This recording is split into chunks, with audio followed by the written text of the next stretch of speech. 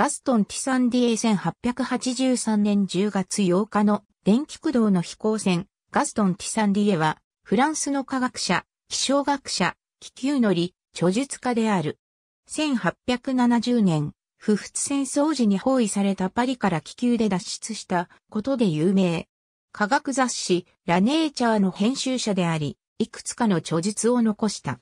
兄は、イラストレーターのアルベール・ティサンディエであり、息子のポール・ティサンディエ、ポール・ティサンディア、1881年から1944年も航空の分野で活躍した。1843年にパリに生まれた。科学を学び、1864年にユニオンナスヤナルの実験室の室長になった。工学協会の教師も気象学への興味から気球に乗り始めた。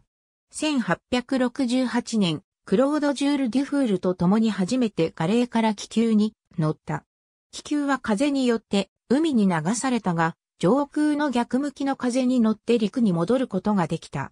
1870年には、不仏戦争で包囲されたパリから気球で脱出した。1875年4月には、ヨゼフ・クローチェ・スピネリとテオドール・シバルと共に、気球で8600メートルの高さに達したが、二人の同僚は酸素不足で死に、ティサンディエは生き残ったが、聴力を失った。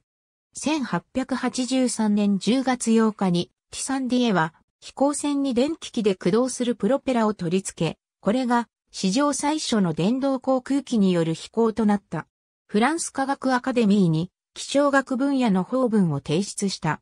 1873年には週刊の科学雑誌ラネーチャーを創刊し1896年まで編集を行った。この雑誌はその後も発行が続けられた。ありがとうございます。